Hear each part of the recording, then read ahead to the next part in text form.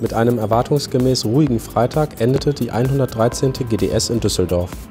Am dritten und letzten Messetag zogen die Aussteller Bilanz. Also Sie sehen mich strahlen. Wir hatten einen sehr, sehr guten Messeverlauf, mit dem wir eigentlich so nicht rechnen konnten. Ich habe das vernommen, dass die Resonanz auf der Messe insgesamt etwas verhaltener war, was man ja auch gesehen hat. Aber nichtsdestotrotz für uns war das ein bis jetzt sehr guter Messetag und wir hoffen, dass der letzte Tag nicht typischerweise irgendwann abbricht, sondern dass auch noch möglichst viel Frequenz da ist.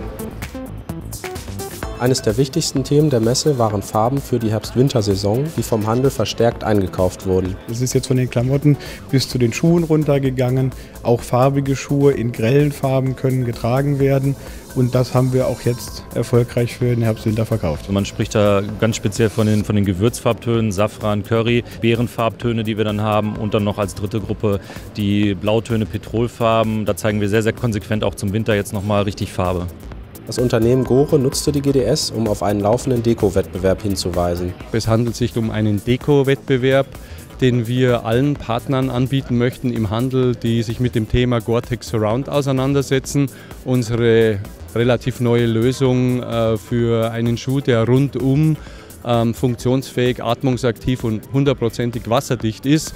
Am besten eine sehr fantasievolle, schöne Gore-Tex Surround Dekoration umsetzen in Ihrem Fenster, in Ihrem Verkaufsraum und dann bitte davon Fotos machen, Bilder machen und an uns einsenden. Wir werden dann die Gewinner definieren und wir freuen uns, dass wir dann einen bestimmten Besucherkreis, Händlerkreis im Oktober mit nach Schottland nehmen können. Bunt, schrill und laut ging es wie gewohnt auf der Design Attack zu, die vor allem jungen Labels eine Plattform bietet.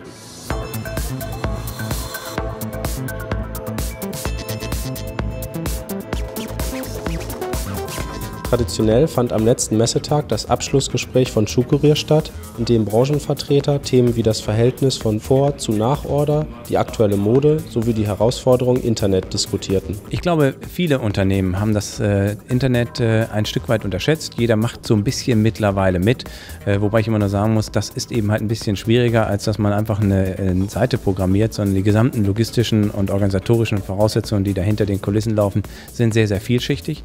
Aber darüber hinaus haben wir das äh, Thema, dass wir einen Werteverfall haben. Couponing und ähnliche Aktivitäten, ob Coupon oder anderer Art, führt dazu, dass äh, wir eine Rabattschlacht im Prinzip am Anfang der Saison bis zum Ende der Saison haben. Und ähm, das ist für die Branche, sowohl für Industrie als auch für den Handel, eine erhebliche Herausforderung, damit in der Zukunft vernünftig umgehen zu können.